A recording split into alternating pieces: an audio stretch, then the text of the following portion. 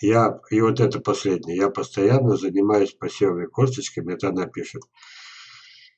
Ой, надежде получить лучшие сорта. Это долго и трудно, но другого пути нет.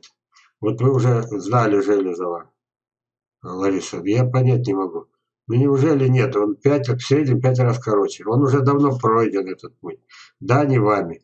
Может быть, вот сейчас начни жить сначала, но вот зная вот то, что вы сейчас знаете. Вы бы первое бы схватили привычный нож.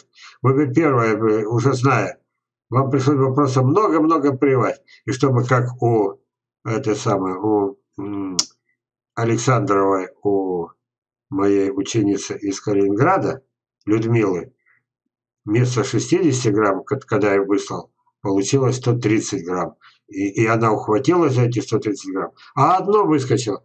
А у Филиппева тоже выскочило. Володя говорит, ну где ты взял? Нет у нас таких. Он говорит, оно само получилось. Вот обычный сорт привал, даже не знаю что. А он взял и два-три раза укрупнился. А потом я разговаривал с этим самым, уже там, с Чернобаем, у нас у обоих он растет. Раздобыли у него, естественно. Вот, я говорю, ну что, Дмитрий, тебе тоже, вот к нему же приехали, я там коронавирусом болел, я не пустил к себе этих э, самых, с Алтая, кто приехал просить, вот, эти самые черенки. А он пустил себе, и черенков нарезал, и ни копейки не взял Чернобаев. Это наш человек. Но другое дело, что они приехали на готовое, а Филиппев, вот, это он, это он обязан. Я сказал, ему мы все обязаны. Я сказал Дмитрию, давай так. Вот будешь ты продавать, будешь раздавать, делай, что хочешь с черенками. Но запомни их название. Запомни. Это поздний Филиппьева. Не Железова, не Чернобаева. Мы так и договорились. Это поздний Филиппова. Нас не будет, его не будет, а фамилия Филиппова будет. Как пример этого. А потом мы же просто взяли, не с каждого дерева у него брали черенки. А с этого вот. А дальше опять распутье. А что у нас будет? А что толку, когда э, первый урожай ни о чем не говорит? Да, крупные, да, позже созревают. И то, что они позже цветут, это такое счастье для нас, потому что зимы стали теплее. Мы теперь можем без урожая оставаться.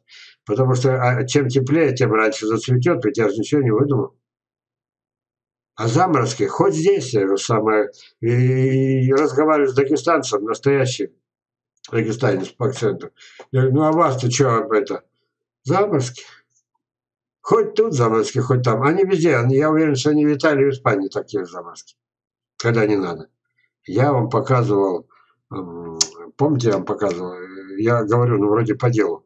Вспоминаем, на одном вебинаре я взял несколько фотографий, слямзил, не взял и не присвоил, не украл, а просто взял с интернета. Там сотни бочек, что в них горит, дрова, мазут, я не знаю. Поэтому прям по саду. А это Франция, ночь. И вот это прям такая картина. Ну, вспоминайте, многие видели. Все в этих самых, в огнях. Бочки горят. Вот. Они все, может такое впечатление, что всю планету греют ну, по крайней мере, уже точно, что сад обогревается, а нет у них другого пути. Мы сидим вот так сложа руки и ждем, пронесет, не пронесет, пронесет, не пронесет. Один раз в жизни я это, у соседей понарезали, натаскал этих самых костров, разложил, вот, сдал ужасом. И не поджег ни один. Потом понял, нет, селекционный сад, не помогать оправдал свою лень. Врать не буду. Вот. Я все стараюсь делать так, чтобы поменьше тратить силы. И вот этот момент. И здесь получается так. А, вы же сотням людей, тысячам сказали. Да, посевы костик, да. Как садить, вы сказали. Осталось вам сказать. Школка и обязательно выкопать и посадить на другое место. Тогда по неволе уже будет э, корневая плюс-минус, примерно будет там, где надо. Любой же не слепой видит, где кончается краснота и, начинается это, темнота на, на саженце. Но вы все-таки даже в этот момент Вы взяли и написали, другого пути нет. Мы прошли его, его прошел Латинков, его прошел Боднер, Железов. Это только вот три этих самых путников в этом. Потому что мы же не знали, что другого пути нет. Ну, не знали мы. Ну, ну вот, вот Тимирязевики знали и написали, что этой цивилизации не существует. Видите, как пришлось разговаривать? Ну, как по-другому-то? Ведь понимаете, в чем дело? Это продолжение того же разговора. Это не все. Уже сказав, что и научив уничтожать кометь, вам ничего не оставалось делать после того, когда... Что он сказал этот, и написал этот, эм, Сафронов? Нудный, вредный мужик. Он взял и написал. А Железов считает, что кометь не трогать нельзя. Это не, э, не болезнь, как все пишут. Все вся страна, вся планета как будто с ума сошли. Или я один сошел. Но ко мне почему-то до сих пор сейчас санитары не приехали. Вот. Ну, считают, что я безобидным делом занимаюсь. Да и пусть себе. Кометь. А там же, помните, это э, реклама я показывал. Колесо деревья, а потом замазывайте, вот вам э, живица. Живица, кометь одно и то же. Вот. Живица – это э, дикие деревья, кометь на культурных деревьях называют. И вот она появляется вот так, смотрите еще, видите? Вот, значит, классика говорит, вот такую рану жуткую делаем, вырезаем до зеленого, и у вас там до зеленого, заметим. А потом замазываем, и самое страшное, что вы написали, самое страшное, страшнее нет ничего на свете. Обжечь паяльной лампой. Вот. Вот почему мои вебинары нужны, чтобы от этого ужаса. Ну как так получилось-то? Ведь смотрите, вы пошли уже на компромисс. Лариса, ком, уже, вы же не пишете, что комедия – это болезнь. Комедия течения является симптомом, пишете вы. То есть, ага, увидели кометь, значит, вот она, значит, что-то не в порядке. Вы же не пишете, что сама комедия это, – это гадость, которую надо уничтожить. Вы чуть-чуть смягчили, ладно симптом заболеваний, физиологических расстройств, разного рода повреждений. Симптом. Ну, можно согласиться. Я бы проще написал. Кометесение – это реакция организма, дерева на заболевание, физиологическое расстройство, повреждение. Вот. Вы до конца не дошли. Ладно. Я не изучал отчетный вопрос. Да вы уже в самом моем этом, то, что цитировал э, это самое, уже поняли, что вы уже влипли. Но вам теперь отказаться трудно. Вы считали, как все считали, что... Но гибели деревьев вы пишете, не изучала, но лечила ножом. Гибели деревьев не было. Ну, если хорошо вспомнить всю вашу деятельность по абрикосам, вы, же не можете сказать, у вас гибли абрикосы, много гибло. Другое дело, я не утверждаю, что это именно из-за того, что вы вот это делали. Если хорошо зачистить рану, под комедию всегда есть рана. Видите, я ставлю на своем, не подходить. Но все равно, пускай так. Под комедию. До живой ткани удалить черные бурые, чтобы были только зеленые зелень. То есть, вы поняли? До живого, до живого уничтожить. Все. Вот, чтобы одна зелень была. Бурая, черная потом продезинфицировать растворы медного купороса, то самое интересное, что э, все э, остальные писали коровье дерьмо. Я всегда удивлялся. Мне дошло до того, женщина пишет отчет это. Я там ваши саженцы, у меня появились кометь, я съездила за 100 километров коровник за дерьмом. Вы понимаете? Но вы здесь придумали вроде бы лучше. Вы знаете, как я смеялся как я из года в год издеваюсь над этим, э, что рану дезинфицировать коровьим дерьмом, как я издеваюсь, да. Хотя коровье дерьмо, да, оно обладает антисептическими свойствами. Я не спорю, но извините, за 100 километров ехать коровник, и вы взяли и заменили коровье дерьмо на паяльную лампу. Вот. И зря вы это сделали. Очень зря. Замазывать кузьма с лаком, масляной краской, на натуральной олифе, садовый вар глина. Я, я, друзья мои, пожалуйста, вместо маленькой раны вы получите большую. Смотрите сюда. Там про черноту она говорила. Попробуйте вы, вот она кометь, да. Это вишня.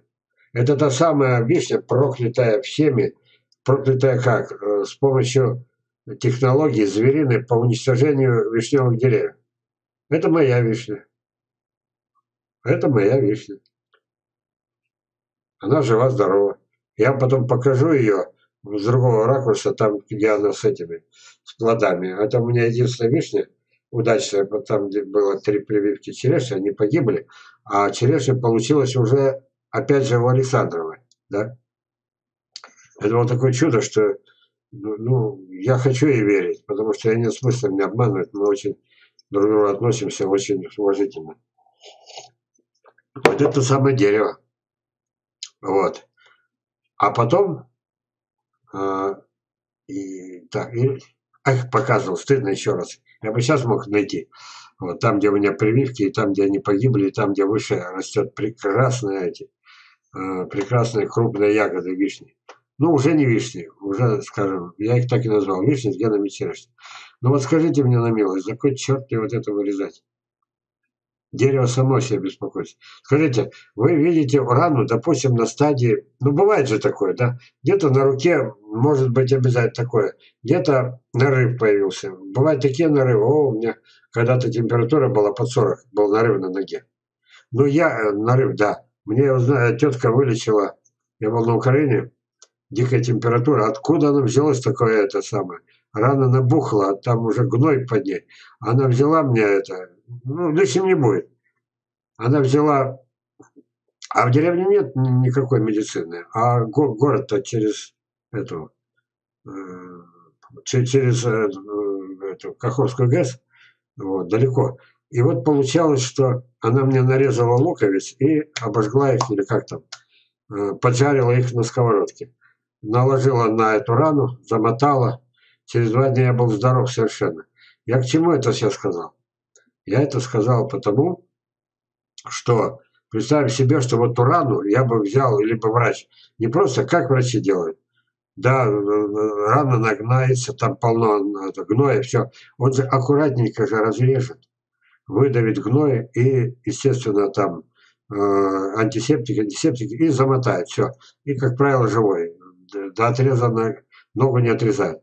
Но вот представим себе, что ее бы, эту рану бы, да, на руке, на ноге, у тех, кто учит вырезать кометь, вот эту барану, такую же, они начинаются обычно откуда она? Ну, бывает или болезнь крови на ровном месте. А чаще это просто механическая рана. Попадает потом в, в эту ранку, попадает эта инфекция, знаете, паразиторные бактерии. Вот. И она больше, больше, больше, и уже все, и организм уже даже спасается, повышая температуру, чтобы убить инфекцию. И в это время кто-то берет скальпель или садовый нож и вот так вот эту рану вот так вот вырезает. Вы представили себе это? Чтобы потом только ее заляпать. Да еще, а добавьте, что, еще раз, мы и деревья одной крови. Теперь, вырезав эту рану, сделаю в 10 раз больше. Представим себе, что вы ее теперь берете паяльной лампой. Э, что делаете? Ну, для чего тут паяльная лампа? инфекцию убить. Нет другого смысла, да? Вот здесь вот. Нет другого смысла, как э, наши уважаемые э, оппонентки, да, обжечь. Для чего? Обжигание применялось всегда и даже у людей. Даже у людей. Даже у, в войсках там Древнего Рима, Греции. Потому что э, страшная рана и начинается эта инфекция. Для чего подносится пальная лампа? в этом случае. Для чего берется просто э, в костре э, ветки там, ветка или там делается из чего-то, может быть, с помощью той же смолы, делается факел, и факел подносится к этой ране. Человек орет, его держит толпа, 10 человек, вот, он же в сознании, этот, допустим, какой древний римлянин, ему к, роге, к ноге, к роге, где начинается уже загнивание, начинается уже самый настоящий, ну, как вы сепсом называете, вот, или гангрены, его подносят. Для чего? Не для того, чтобы а, с помощью этой вот паяльной лампы убить инфекцию. Нет. Реакция на а этот огонь, страшный огонь, реакция организма, дикая боль и поднятие температуры, сразу кровь, сразу срабатывает инстинкт. Кровь нагревается, так, и с лейкоцитами поступает а, сюда, в эту, там, где было обожжено. Вот для чего. И тогда смотришь, удается переломить и не допустить от, отпиливая ноги или руки. Вот. Но здесь-то смысл-то, ну, раствор, раз уж вы рану сделали, хотя не надо вообще делать было. Ни в одном случае, никогда не надо делать. Не, не, не, не расковыривать это. Но раз уж сделали, ну хорошо, раствор медного купороса, но только не паянной лампой. Вы не представляете, какое страшное она оказывает воздействие.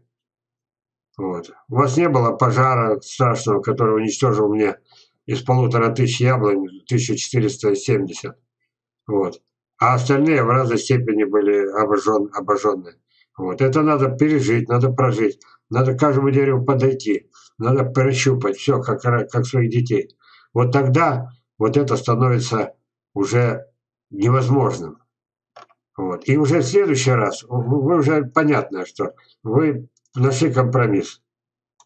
Симптом, уже не болезнь, здорово. Но постепенно, если еще будет книга, там уже все будет по-другому. Если еще статья будет в этом, сайтам хозяйства, там будет по-другому. Ну, заканчиваем. Пусть даже мы на это много времени потеряли. Но это важнейшее письмо. Чуть ли не впервые я получил взвешенный объективный ответ, так, как она считает нужным. И даже если, пусть даже это уже, хотя я уверен, что она уже дальше бы пошла, но ей нельзя было отказаться от прошлых книг, понимаете? Вот, нельзя было.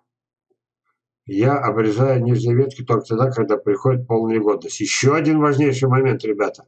Этот вебинар один из важнейших, только поверьте в это. Вот. Укорачиваю так же, как железо. Ну, то есть железо она знает.